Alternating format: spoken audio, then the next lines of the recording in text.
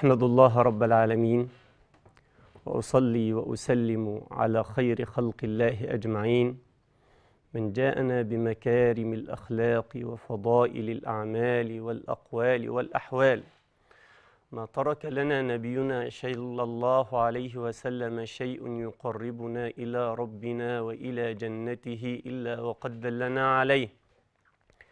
وما ترك لنا نبينا صلى الله عليه وسلم شيء يبعدنا عن الله ويقربنا من النار إلا وقد حذرنا منه صلى الله عليه وسلم. الحلقة ونحن نتكلم عن مكارم الأخلاق. فمكارم الأخلاق لابد أن تعلم. إذا كنت تتكلم عن مكارم الأخلاق فإن أتيت بشيء ينافيها فقد ضاعت أخلاقك وضاعت قيمك ويذهب دينك سدى.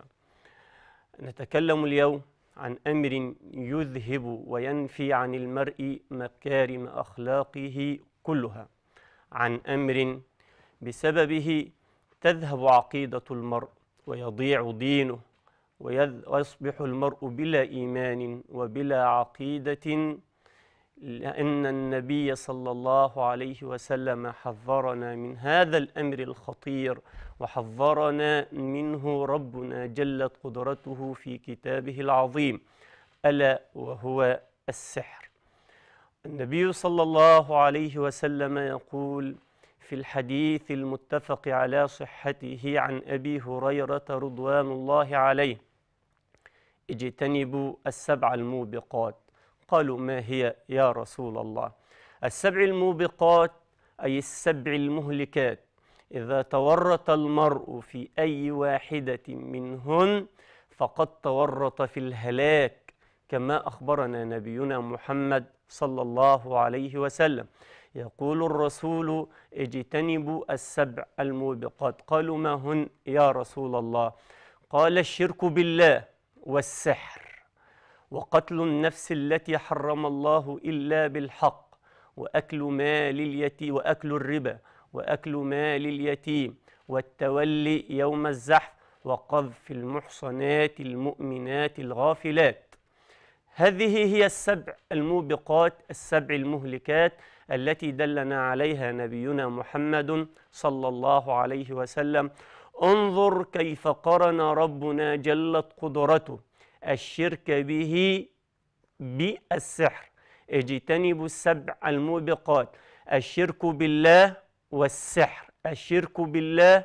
وثاني أمر من الموبقات من المهلكات السحر لأن السحر يخرج المرء من ملة الإسلام ويخرج الإنسان من دين الله جلت قدرته ويصبح هو والمشرك في بوتقة واحدة وفي قارب واحد في قارب السوء في البعد عن الله جلت قدرته والقرب من النيران ولا غفران لهذا ولا ذاك كما بين لنا نبينا محمد صلى الله عليه وسلم إلا بالتوبة النصوح.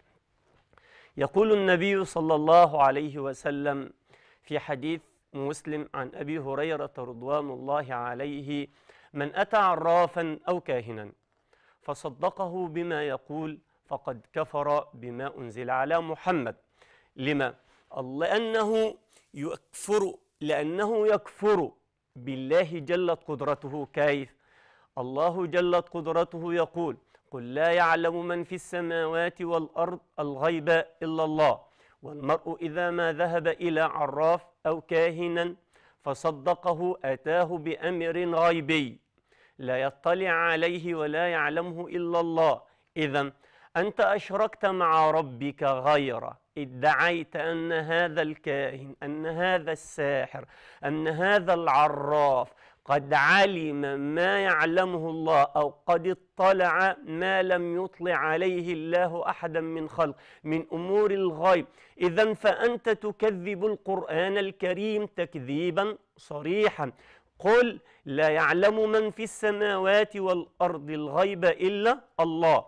النبي صلى الله عليه وسلم يبين لنا من أتى عرافا أو كاهنا فصدقه بما يقول فقد كفر بما أنزل على محمد كما قال نبينا محمد صلى الله عليه وسلم.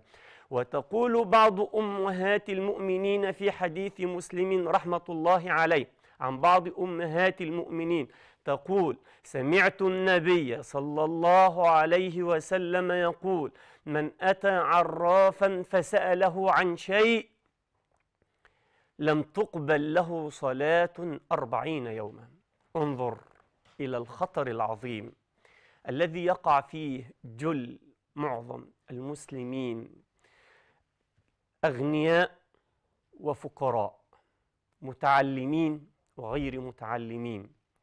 هذا الأمر الخطير الذي يقع فيه الناس اليوم إلا من رحم ربك.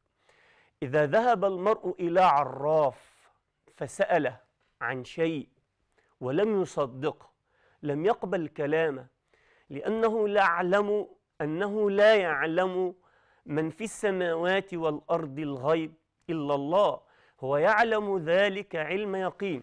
فلذلك لما ذهب إليه وسأله عن شيء فهو لم يصدقه ومع ذلك يخبرنا النبي صلى الله عليه وسلم أن هذا الذي ذهب وأتى إلى العراف لم تقبل له صلاة أربعين يوما كما أخبرنا نبينا محمد صلى الله عليه وسلم.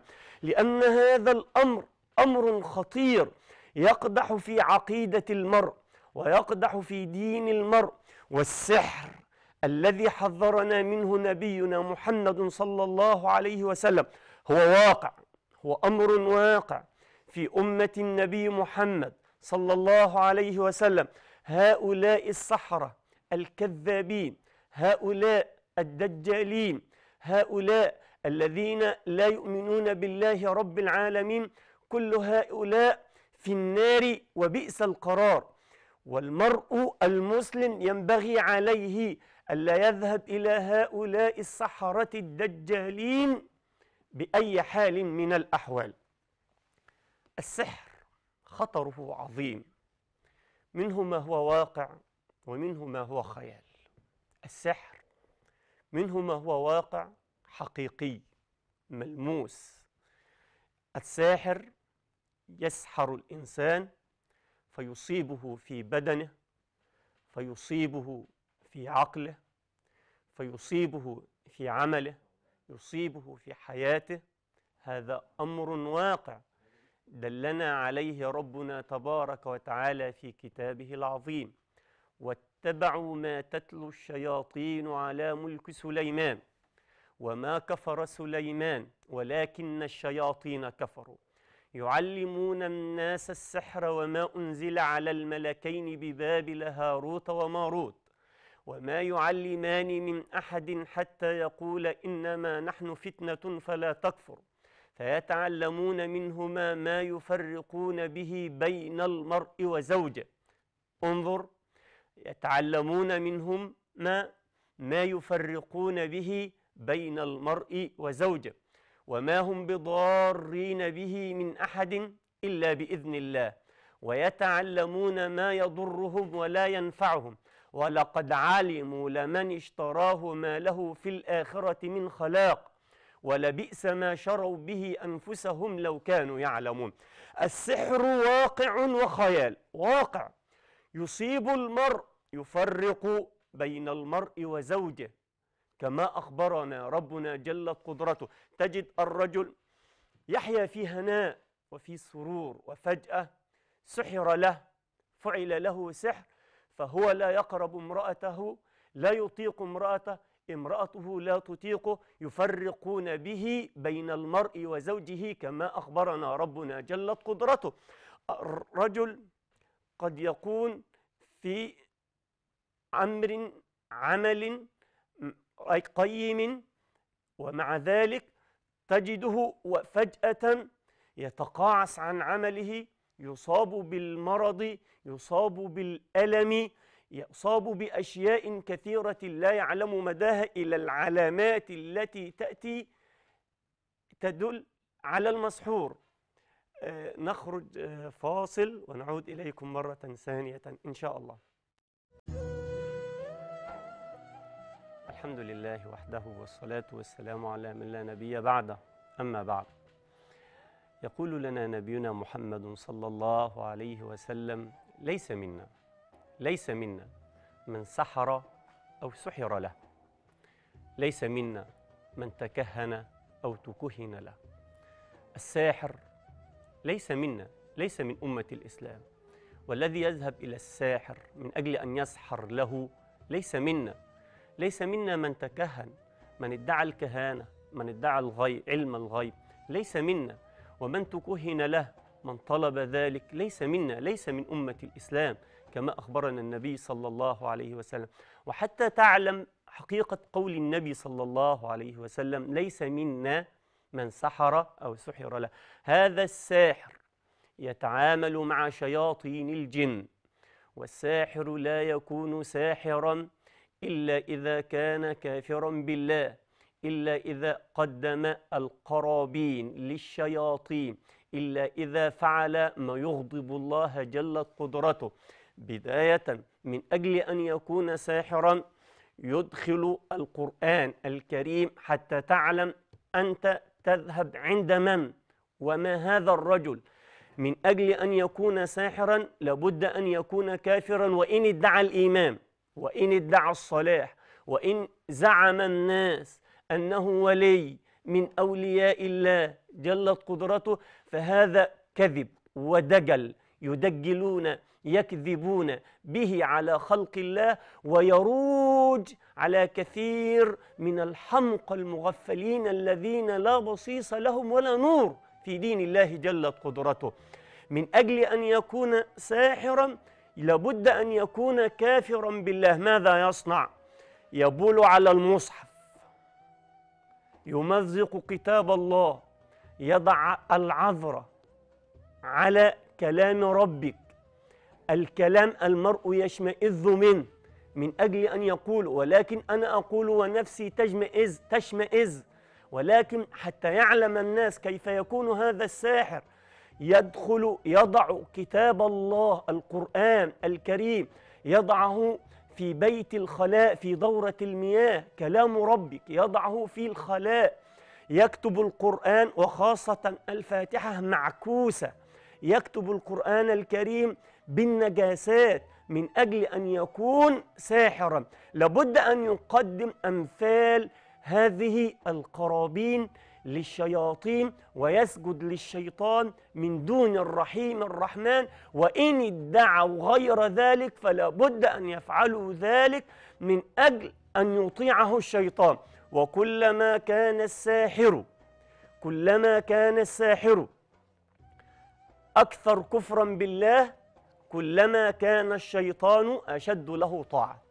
يعني كلما علت مرتبته في الكفر الساحر كلما ازداد في الكفر وكلما استحل المحرمات وأتى بالموبقات كلما استجاب له الشيطان الرجيم. هذه مهمة الساحر هذا الذي يطلب منه من أجل أن يطيعه الشيطان.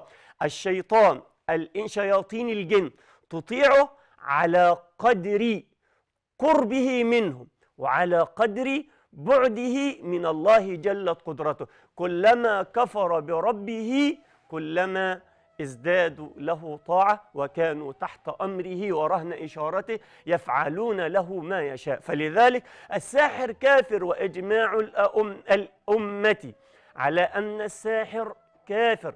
وعلى أنه يقتل حده في الإسلام القتل من كان ساحرا حده في دين الله جلت قدرته أن يقتل كما بين علماؤنا عليهم الرحمة ولكن ليس القتل لا لي ولا لك وإنما الأمر لولي الأمر هو الذي يتولى أمر قتل الساحر كما بين لنا نبينا محمد صلى الله عليه وسلم فليس قتله لا لي ولا لك. هذا الساحر الكافر بالله جل قدرته. أمتى النساء خاصة تذهب إليه. إذا ما أتى الغل إذا ما أتى الحقد إذا ما أتى الحسد امرأة لم تتزوج. وقرينتها تزوجت. يأتي الغل في القلب والحقد والحسد فتذهب إلى الساحر. من أجل أن يعمل لها من أجل أن يسحر هذه المرأة فيفرق بينها وبين زوجها. هذا تخرج وارتقى بوظيفة عمل بوظيفة مرموقة آه، وفي مكان سعد به والده وسعدت به والدته وكان مفخرة للناس أجمعين وفجأة تجده مصاب بألم في بطنه مصاب بأمر نفسي يجعله يحجم عن عمله وبعد أن كان في القمة في الصدارة تجده يتقهقر للخلف لأنه أصيب بالسحر. فالسحر موجود في أمة النبي صلى الله عليه وسلم له حقيقة وله خيال. نحن نتكلم عن سحر الحقيقة وأما سحر الخيال الذي كان موجودا موجودا على عهد موسى عليه السلام وموجود إلى يومنا هذا. معنا اتصال هاتفي أستاذ خالد من البحيرة. أبو خالد. أبو خالد. عليكم السلام ورحمة الله وبركاته. أخبار حضرتك جزاك الله خير. الحمد لله. ربنا يبارك فيك. اتفضل يا أستاذ. آه، سؤال استفسار صغير. والله أنا عندي واحد مفروض إن أنا اصبها بالقسط لا وطي حضرتك التلفزيون عشان أنا مش سامعك كويس. حاضر كده تمام؟ اتفضل. المفترض إن أنا عندي قطعة أرض اصبها بالقسط. قطعة أرض إيه؟ قطعة أرض اصبها بالقسط اصبها بالقسط. تمام؟ هتصبها للمدرسة؟ لا قطعة أرض اصبها بالقسط المفترض إن أنا اتفق مع مقاول اصبها بالقسط. هتصبها مدرسة. تبنيها مدرسة يعني. لا مدرسة الشيخ قطعة أرض اصبها بالقسط اصبها بالقسط. هتصبها بالقسط. آه تمام؟ تمام. المفترض إن أنا آه، اصبها مثلا نظير مبلغ معين يعني أنا النهارده مثلا هيتبقى عليا 100000 جنيه مثلا أو 150000 تمام. في خلال مثلا 10 سنين. آه. واتفقت على كده والكلام ده كله وهيبدا يشتغل. أنا في خلال الفترة دي بتوفر معايا مثلا 20 30 آه. عايز أديهم له نظير إن هو ينزل من المبلغ الإجمالي اللي أنا مقسطه على نفسي. وضع القصة دي إيه؟ آه. تمام. تمام؟ تمام. حضرتك فيه. طيب بص حضرتك هو انت اللي أنا فهمته منك ان انت آه، ده أمر بناء بالتقسيط مظبوط؟ تمام. بناء بالتقسيط. انت بنيت تمام. بالتقسيط. باقي عليك تمام. من المبلغ وليكن 150 ألف زي ما ذكرت. ال تمام 150 ألف دول بتعمل لهم جدولة وليكن خمس سنوات. هتدفع في تمام. الشهر مثلا 1000 1000 ونص. 2000 تمام. جنيه 3000 زي ما يكون. انت توفر تمام. معاك مبلغ مرة واحدة عاوز تمام. تديه للمقاول نظير ان المقاول يخفف. عنك من القسط مظبوط؟ انت تمام، بقى. حكم الشرع في ديت إيه اللي يتم ولا بتسأل عن إيه أنا بسال عن حكم الشرع في إيه؟ في, في القصة دي يعني مثلا زي ما حضرتك اتفضلت يعني مثلا هيدعي على خمس سنين الفلوس اتوفرت في خلال مثلا سنتين أو ثلاثة نظري إن أنا أعد من الكوم اللي عليا تمام بص يا حبيبنا آه خلاص فهمت سؤالك يا أستاذي طيب، أجاوب حضرتك عليه بالنسبة لل- للبناء البناء بالتقسيط لا شيء فيه. إن الإنسان يبني منزله بالتقسيط هذا أمر لا شيء فيه. يعني ما فيش أي حرمة على الإنسان اللي هو بيبني بالتقسيط. أنت توفر معاك مبلغ هتروح تعطيه للمقاول هتتفق مع المقاول أنا هعطيك مثلا نص المبلغ نظير إنك أنت بتخفف عني من المبلغ آه شوية إن رضي وأنت ارتضيت كان بها. إذا لم يرتضي هو وأصر على موقفه فهذا اتفاقكم من البداية وهو حقه. يعني إن رضي إنه ياخد منك نص المبلغ ربع المبلغ نظير إن هو يخفف عنك فهذا حقه. إن قال لك لا إحنا على اتفاق وإن إحنا ماشيين على نفس الاتفاق الأولاني ولو اديتني النهارده ال 150 هاخدهم برضو منك 150 فهذا حقه والمسألة بترجع لاتفاق ما بينك وما بين المقاول والمؤمنون عند شروطهم. نعود لحديثنا عن آه، السحر اللي إحنا بنتكلم عنه هذه الموبقة هذا الأمر الشنيع الذي لا يرتضيه دين وقد حرمه ديننا الإسلام ديننا الإسلام الحنيف. الكاف الساحر كافر. وأبرز الناس في السحر من كانوا على غير ملة الإسلام. يعني تجد أن السحره برزوا في عهد فر... عهد فرعون. سحر سحرة فرعون. هذا كان سحر تخيلي اللي إحنا كنا ما قبل السؤال كنا بنتكلم عنه اللي هو السحر التخيلي زي ما ربنا قال هم بيخيلوا يخيل لكن لا يفعل بالجسد شيء. هذا لا يفعل بالجسد شيء ولا يصيب بالإنسان شيء. وهذا سحر وقد حرمه الله اللي هو سحر سحرة فرعون. سحر سحرة فرعون.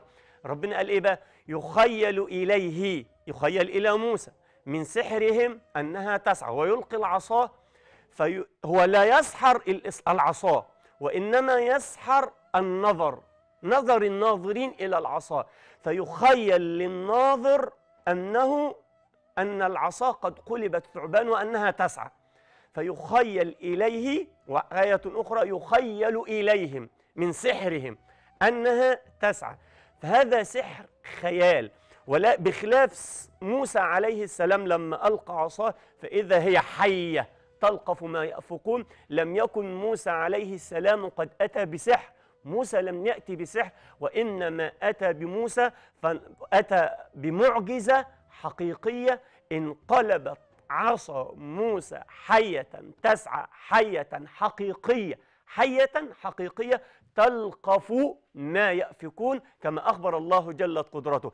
فسحر سحرة فرعون كان سحر خيال سحر تخيلي. يسحر العين. ترى شيء أي ما أنت بتشوف النهاردة يقول لك آه، يسحر عينيك. يعني تلاقيه حتى على مواقع التواصل الاجتماعي تلاقيه يجيب لك حاجة كده وبص تلاقيه راح صندوق ويشيل لك الصندوق ما كانش فيه أي شيء وأنت شايف إن ما فيش شيء. يشيل الصندوق تلاقي فيه حمامة. هذا ساحر. هو يسحر النظر. هذا ساحر. وهذا بالله كافر. كما أخبرنا ربنا وكما أخبرنا نبينا صلى الله عليه وسلم. وحده القتل بالسيف لولي الأمر. تلاقيه حاطط قدامه آه، سلة آه، أي شيء قفص أي شيء يشيله. بعد ما يشيله تلاقي فيه حمامة. من أين أتت؟ هذا سحر. سحر دلنا عليه نبينا محمد صلى الله عليه وسلم ولكنه سحر خيال. ولكن السحر الحقيقي بأتي منه بقى أصناف كثيرة جدا. منه سحر تفريق. معنا اتصال هاتفي أم البراء. عليكم السلام ورحمة الله وبركاته. آه، يا شيخ أنا كنت بسمع الرؤية الشرعية وبحط معاك طيب ممكن حضرتك توطي التلفزيون عشان الصوت بيقطع؟ يا والله قفل الصوت اقفي في حتة فيها شبكة أم البراء. ماشي بقول لحضرتك أنا كنت بسمع رؤية شرعية بال- بالسماعات أحط السماعات في ودني. تمام. فكنت ب- بتنفض وأنا نايمة ساعة بتنفض أول نايم. تمام. و... وكنت بقوم الصبح ألاقي جسمي فيه بقع زرقاء. تمام. وبعدها بفترة أنا عملت مية ورقيت البيت. أنا حافظة الرق- الرقية الشرعية أصلا ورقيت البيت وكده فحلمت إن آه، زي ما يكون في حد بي- بيقول آيات الآيات دي بتسخر ال- الجن. فهو الجن ده آه، طلع آه، وقف كده على على سرير من سرير أولادي يعني. آه. فأنا ما رضيتش أبص له عشان ما خفتش وقعدت أقول آيات القرآن اللي هي تحرقه. تمام. فهو اتحرق وانتهى خلاص. تمام. طيب. ف آه. بشغل رؤية على طول يعني حضرتك طب سؤال حضرتك بقى يا ام البراء إيه؟ نعم. سؤال حضرتك هنا إيه؟ أنا بشغل الرؤية على طول ودايما ما بقول ذكر لا إله إلا الله بتوب جامد جامد لدرجة التتويب بيجي بدموع وبهبط كتير. لحد ما- منطق الذكر ده بتوب على طول. بتت... بيحصل تت... طيب بصي يا أم البراء إحنا في عندنا في فارق ما بين السحر وما بين الحسد. في علامات للسحر وفي علامات للحسد. علامات آه، السحر يأتي للإنسان؟ ممكن الإنسان يكون ملبوس. الإنسان يكون مسحور مفعول له معمول له عمل. لذلك الإنسان لما بيروح للساحر أول شيء بيسأله عنه بيقول له إيه؟ اسم أمك إيه؟ بيسأله عن اسم الأم. ليه إشمعنى الأم؟ لأنه بياخد اسمه اسم الأم ويجمع ما بينهم يجمع الحروف ما بين اسمه واسم والدته. فإن كان أقرب إلى إلى الطين الاسمين لما يجمعهم على بعض لو كانوا أقرب للطين يدفنوا في الطين. لو كان أقرب للماء يحطوا في الماء. آه للهواء يعلقوا في شجرة. على حسب الاسمين عشان كده بيسأل اسم الأم. فالساحر لما يسحر لإنسان بيأتي آه تلاقيه عنده ألم في البطن. ألم في بطنه. هذا سحر. من السحر. المرأة يجد عندها في الرحم. هذا سحر. إنسان يلبس أحيانا يلبس تجد عنده تشنج ارتفاع في درجة الحرارة أحيانا وتشنج في عضو اليد أو القدم تجد عنده تشنج في العضو في اليد أو القدم. هذا سحر يعني للسحر علامات وللحسد علامات. المحسود دائما زي ما حضرتك ذكرتي يجدوا إن هو دائما بيتس... عنده بيتاوب على طول التثاؤب دائما بيتتاوب. حاسس إن هو عاوز ينام وهو مش عاوز ينام عنده خمول في الجسد. هذا حسد في فارق ما بين السحر وما بين الحسد. الإنسان إذا كان دائما عنده بيتتاوب آه، عاوز ينام في خمول في الجسد بصفة دايمة ولكن لا ألم في البطن لا ألم في اليد لا تشنج في العضلات آه، فده حسد. إذا أتت الأعضاء الألم بقى في العضو في الج... ده بيبقى سحر. آه، ففي فارق ما بين السحر وبين الجسد فأخت أم البراء اللي هي بتسأل عنه فده حسد والمطلوب منها المواظبة المواظبة على الرقية الشرعية التي دلنا عليها ديننا الحنيف. المحسود والمسحور لا يطلب منه أن يذهب إلى عراف ولا أن يذهب إلى كاهن وإنما ما يطلب من المسحور وما يطلب من المحسود أن يلتزم بالرقية الشرعية. أنت قد تمرض أي إنسان في الدنيا يمرض وكل داء هذا مرض. السحر مرض الإنسان إذا ما سحر فقد أصيب بمرض إذا ما حسد فقد أصيب بداء. والله جلت قدرته ما أنزل داء إلا وقد أنزل له الشفاء. علمه من علمه وجهله من جهله كما أخبر النبي صلى الله عليه وسلم. فلا يجوز لي ولا لك ولا لأحد أصيب بعين أو أصيب بسحر أن يذهب إلى السحرة إلى العرافين إلى الكهنة إلى الدجالين. لا يجوز. فلان بيعالج بالقرآن لا تذهب. فلان بيعمل قلب للزوجين. فلان مش عارف يعمل إيه. على القنوات الفضائية. تجد يقول لك فلان واتصل من السعودية واتصل من اليمن واتصل منين ومن فين. كل هذا دجل من أجل جلب الأموال. كل هؤلاء يدجلون على الناس من أجل جلب الأموال. ولكن ما ينبغي على المحسود ما ينبغي على المسحور أن يعرض نفسه. أنا قد أشك في نفسي فأعرض نفسي على الرقية الشرعية. لما أعرض نفسي على الرقية الشرعية وإيه هي الرقية الشرعية اللي أنا بعرض نفسي عليها؟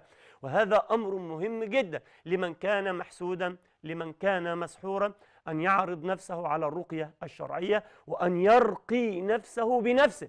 إن كان له أخ إن كان له صديق إن كان له قريب فرقاه لا شيء. ولكن الأصل ألا تذهب لا إلى عراف ولا إلى كاهن ولا فلان بيعالج بالقرآن وفلان بيعالج بيش إيه.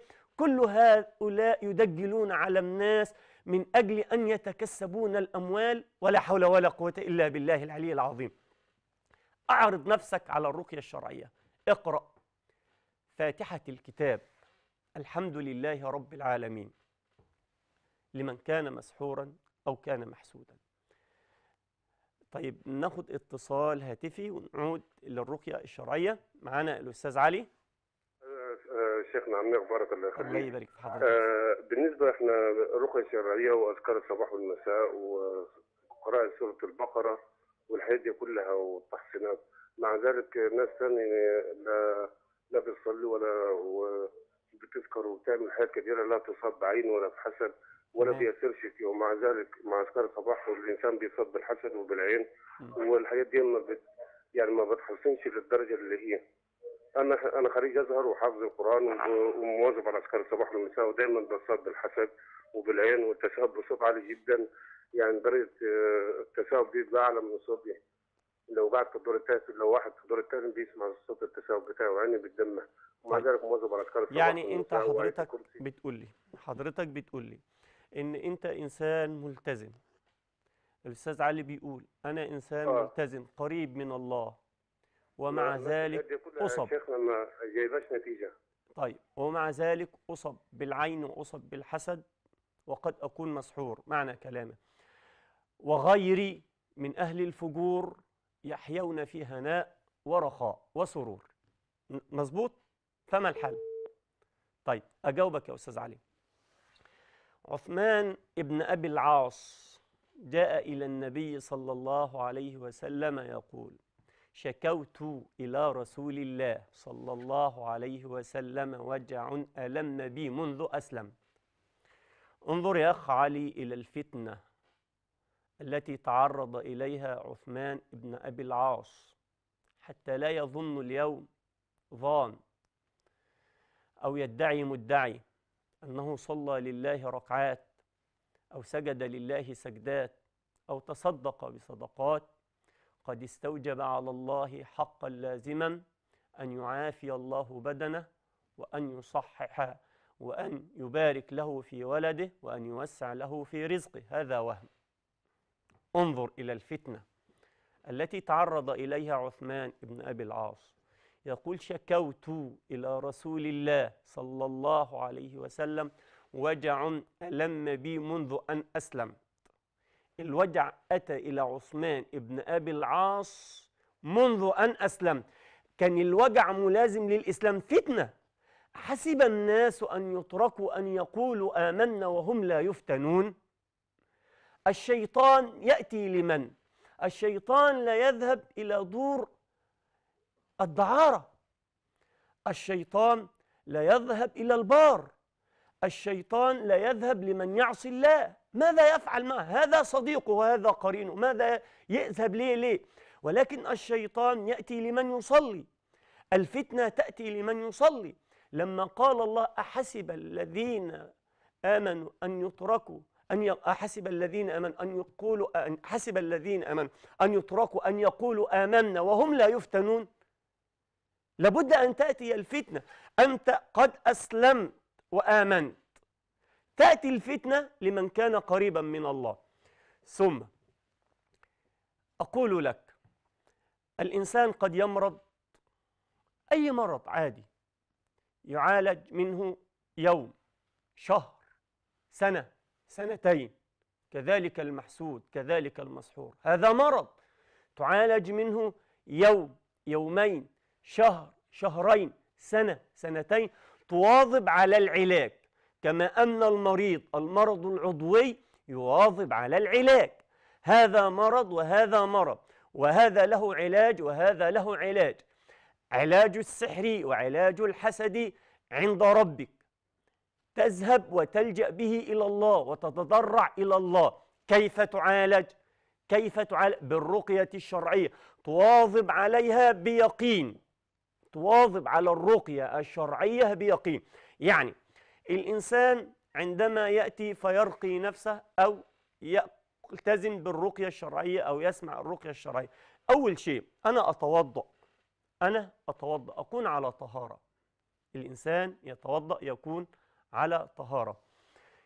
يكون حاضر القلب. الإنسان يكون حاضر القلب. ليس لاهيا. ليس قلبه غافل. يقرأ كلام لا يعيه. يردد كلام لا يفقه منه شيء. لا يعي ما يقول يلهو عما يقول. هذا لن تنفعه رقيته. الإنسان عندما يرقي نفسه يتوضأ يستحضر هيبة الله كما أن الإنسان إذا ما صلى ووقف بين يدي الله يستحضر هيبة الله. وليس لك من صلاتك إلا ما عقلت إلا ما خشعت. كذلك. في الرقية ليس لك من رقيتك إلا ما عقلت إلا ما استحضرت فيها خشية ربك إلا ما استحضرت فيها هيبة ربك إلا ما استحضرت فيها عظمة ربك. أن الله الذي أتى بالضر هو وحده الذي يستطيع أن يصرف عنه هذا عنك هذا الأمر. النبي صلى الله عليه وسلم لما سحره لبيد بن الأعصم. لبيد بن الأعصم هذا الرجل اليهودي سحر النبي صلى الله عليه وسلم ولكن لم يسحره في عقله الإنسان منا يسحر في عقله ها النبي لم يسحر في عقله وإنما سحر في خياله كان يخيل إليه في بيته أنه فعل الشيء ولم يفعله يخيل إليه أنه فعل شيء في البيت وهو لم يفعل هذا الشيء فما كان من رسول الله صلى الله عليه وسلم إلا أن لجأ إلى الله فرفع الله عنه ما فعله لبيد ابن الأعصم هذا الرجل الساحر اليهودي ورفع الله عن النبي صلى الله عليه وسلم هذا الأمر العظيم. فأنت تقرأ فاتحة الكتاب لمن كان مسحورا سبع مرات. تقرأ آية الكرسي. سبع مرات. تقرأ آية آيات السحر المذكورة في القرآن الكريم. واتبعوا ما تتلو الشياطين على ملك سليمان إلى آخره. آيات السحر الموجودة. وما جئتم به من السحر إن وما جئتم به سحر إن الله سيبطله. إن الله لا يصلح عمل المفسدين. ويحق الحق بكلمات إلى آخره. تقرأ آيات السحر. تقرأ خواتيم سورة البقرة. خواتيم سورة البقرة. اللي أنا بقوله ده الإنسان يقرأه من أجل التحصن ومن أجل العلاج. يعني الإنسان يقي نفسه من السحر. طيب ناخد اتصال. هاتفي الأستاذ محمد من هنا أستاذ محمد؟ من أيوه؟ يا فندم. أيوة أستاذ محمد اتفضل. اتفضل سؤالك أستاذ محمد. لو واحد راح للشيخ وكان وكان معمول له ساحر لو كان إيه؟ وطي التلفزيون يا أستاذ محمد. واحد راح للشيخ وكان معمول بساحر هل دي حرام ولا حلال؟ تمام. ما كانش يعرف إنه الحكام دي حرام يعني. وإيه؟ ما كانش يعرف إنه إن إن ده حرام؟ تمام. آه. تمام. ده سؤالك يا أستاذ محمد؟ يعمل إيه؟ والتاني غلط. آه. يعني واحد كان معمول له سحر وراح لأحد اللي هم بيدعوا إن هم بيعالجوا السحر وخلافه وما كانش يعلم إن هذا حرام. صح؟ طيب. عرفت. شكرا يا أستاذ محمد. دلوقتي إمتى واحد النبي صلى الله عليه وسلم قال من أتى عرافا أو كاهنا آه، لم تقبل له صلاة أربعين يوما ولم يصدقه فيما يقول فإن صدقه فيما يقول فقد كفر بما أنزل على محمد لأن هذا ادعى الغيب الذي لا يعلمه إلا الله. من فعل ذلك عليه التوبة. أنا ما كنتش أعرف وعرفت إن هذا الأمر حرام فأنا أتوب وأندم وأستغفر الله أني قد فعلت هذا الشيء عن جهل مني والله تبارك وتعالى غفار الذنوب ستير للعيوب يغفر الله جلت قدرته ذنبك ايا كان ما دمت تبت وأنبت ورجعت إلى الله تبارك وتعالى فالله تبارك وتعالى يغفر لك ذنبك ويستر عليك عيبك. نعود إلى الرقية الشرعية سواء للمسحور أو الإنسان اللي هو بيقي نفسه من السحر. النبي صلى الله عليه وسلم أخبرنا عن آيات الكرسي أن الإنسان إذا أخذ بآية الكرسي لا يقربه شيطان في المساء حتى يصبح. إن قرأتها في الصباح لا يقربك شيطان حتى تمسي إذا أنت في أمن وأمان من الشيطان. إذا ما تحصنت بالله ولجأت إلى الله وقرأت آية الكرسي. خواتيم سورة البقرة. من أخذ بخواتيم سورة البقرة كفتاه. يعني كفتاه من السحر وكفتاه من أي شر يكون. كما أخبرنا النبي الأمين صلى الله عليه وسلم. سورة البقرة كاملة. عليكم بسورة البقرة في حديث البراء بن عازب. النبي صلى الله عليه وسلم عليكم بالبقرة فإن أخذها بركة وتركها حسرة ولا تستطيعها البطلة يعني السحرة. سورة البقرة تقرأها كاملة. هناك البيوت نصب بالسحر لماذا؟ بيوتنا لا يقرأ فيها قرآن أصلا. نحن ندعي الإيمان وندعي التقى وبيوتنا فيها الغناء والباطل. ولا يقرأ فيها كلام الله. ربما يمر عليك الشهر والشهرين ولا تقرأ آية من كتاب الله. ربما لا تقرأ ذكر من أذكار الله. لا تأخذ بأذكار الصباح ولا المساء. انظر إلى النبي صلى الله عليه وسلم عن سورة البقرة. أخذها بركة وتركها حسرة. ولا تستطيعها البطلة. أي السحرة كما أخبر النبي صلى الله عليه وسلم. ويقول الرسول صلى الله عليه وسلم البيت الذي تقرأ فيه سورة البقرة تفر منه الشياطين.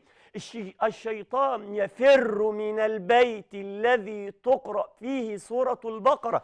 إذا أنت في حصن وفي أمن وأمان من الرحيم الرحمن. إن لم تكن مسحورا. إن كنت مسحورا أو كنت محسودا فأخذت بهما أتاك الشفاء من عند الله تبارك وتعالى. فانظر الفاتحة. آيات السحر في سورة البقرة. سورة البقرة كاملة. آية الكرسي. خواتيم. سورة البقرة. المعوذتين. قل أعوذ برب الفلق. وقل أعوذ برب الناس. النبي صلى الله عليه وسلم لما سحر نزلت عليه المعوذتين فقرأهما النبي صلى الله عليه وسلم فشفي بأمر الله وقال ما تعوذ المتعوذون بمثلهما ما تعوذ المتعوذون بمثل بمثل قل أعوذ برب الفلق من شر ما خلق ومن شر غاسق إذا وقب ومن شر النفاثات في العقد ومن شر حاسد إذا حسد. قل أعوذ برب الناس ملك الناس إلى آخره. سورة البقرة آه، سورة قل أعوذ برب الفلق قل أعوذ برب الناس. ومعهم قل هو الله أحد. ما تعوذ المتعوذون بمثلهما والنبي صلى الله عليه وسلم أخبر أن من أخذ بقل هو الله أحد قل أعوذ برب الفلق قل أعوذ برب الناس. ثلاث مرات حين يصبح وثلاث مرات حين يمسي لا يصيبه في ذلك اليوم لا وصب ولا نصب. لا يصيبه مرض ولا يصيبه فلج ولا يصيبه سحر. أنت لا تسحر عندما تقرأ. قل هو الله أحد قل أعوذ برب الفلق قل أعوذ برب الناس. ثلاث مرات حين تصبح وحين تمسي. لو اجتمعت عليك شياطين الإنس والجن على أن يسحروك ما استطاعوا وإنما الإنسان يسحر على حين غفلة. الإنسان يتلبس بالمعصية. أنت تحصن نفسك. إنسان يحصن نفسه. ثم يأتي فيتلبس بالمعصية. فيقع عليه السحر يقع عليه الحسد تأتيه العين. يأتيه السحر يصيبه السحر. متى؟ عندما تكون في غفلة عن الله. آه تقول أنا قريب من ربنا قريب من ربنا. أنا أصلي أنا أصوم أنا أزكي أنا أحج. فلان لا يفعل فلان لا يصلي فلان لا يتصدق فلان في أمن وأمان. أنا في فتنة هي فعلا أنت في فتنة. أنت في ابتلاء من الله الله يبتليك على قدر دينك. من رضي فله الرضا. ومن سخط فله السخط كما أخبر النبي صلى الله عليه وسلم إن الله إذا أحب قوما ابتلاهم فمن رضي فله الرضا ومن سخط فله السخط كما أخبر النبي صلى الله عليه وسلم. فأنت تقرأ هذه الآيات متأنيا. هذه الأذكار تأخذ بها مترسلا. الرقية الشرعية تأتي بها متأنيا. يعني جيش واحد يقول أنا بقرأ آية الكرسي والنبي صلى الله عليه وسلم قال الإنسان لما يقرأها في الصبح ما يصيبش الشيطان يقرأها بالليل قبل المنام لا يأتيه شيطان لا يقربه شيطان. إلى آخر أحاديث النبي صلى الله عليه وسلم الكثير أنا أفعل ذلك ولكن أنت لا تستحضر قلبك عندما تقرأ كلام ربك. أنت تقرأ القرآن ولا تعيه عندما تقرأ القرآن تقرأه بقلبك تقرأه خاشعا تقرأه متأنيا مرتلا. الله لا إله إلا هو الحي القيوم. لا تأخذه سنة ولا نوم. له ما في السماوات وما في الأرض. من ذا الذي يشفع عنده إلا بإذنه؟ يعلم ما بين أيديهم وما خلفهم ولا يحيطون بشيء من علمه إلا بما شاء. وسع كرسيه السماوات والأرض ولا يؤوده حفظهما وهو العلي العظيم. متأنيا متدبرا لكلام ربك. أما أن تقرأ ولا تدري ماذا قرأت فلن ينفعك. المرء يقرأ ولا يدري ماذا قرأ. ثم لا يكون عنده اليقين أن الشفاء بيد الله. الإنسان يذهب يذهب إلى الساحر يذهب إلى الدجال ربما يأتي من عنده بعدما خسر دينه يعود ويظن أنه قد عفي وأنه قد شفي. ليه؟ لأنه ربما المسألة تكون عنده مسألة نفسية إيحاء نفسي مسألة نفسية. وهو نفسيته عنده يقين عنده قناعته أن هذا سبب في شفاء وأن هذا يأتي بالشفاء. هذا الساحر هذا الكاهن يأتي بالشفاء. فهو يذهب إليه ويعتقد أن الشفاء عنده. فيأتي وقد رفع عنه مسألة نفسية. أنت عندما يكون يقينك بالله عاليا وإيمانك بالله ثابتا لا تزعزعه الجبال. الله هو النافع. الله هو الضار. الله هو الشافي لا يشفيني مما أنا فيه من هذا البلاء الذي نزل بساحتي إلا ربي. لا أحد لا سحرة لا دجالين لا عرافين لا أحد يشفيني من هذا الداء إلا الله ولا يقدر على الشفاء إلا الله. عندما يكون عندك هذا اليقين تشفى بأمر الله. الواحد بيبقى تعبان تعبان. يروح للدكتور يقول له روح للدكتور الفلاني. بيتكلم حلو واسلوبه كويس مهذب في الكلام مبتسم مبتسم. فلما يروح له هو يظن أنه علشان أسلوبه كويس خلاص يعتقد أن هذا الدكتور شاطر جدا يكتب له علاج بسيط جدا يعود فيشفى بأمر الله رب العالمين. مسألة نفسية. فالإنسان لابد أن يكون عنده يقين في الله أن الله تبارك وتعالى هو الذي يشفيه. ولا نذهب لا إلى سحرة ولا إلى كهنة ولا إلى دجالين فكل هذا يغضب الله رب العالمين ونسأل الله جلت قدرته أن يحرسنا بعينه التي لا تنام وبركنه الذي لا يضام وأن يرفع عنا الأذى. إنه ولي ذلك والقادر عليه وهو على كل شيء قدير. وفي نهاية الحلقة نشكركم جميعا وإلى لقاء إن شاء الله. والسلام عليكم ورحمة الله وبركاته. وإلى اللقاء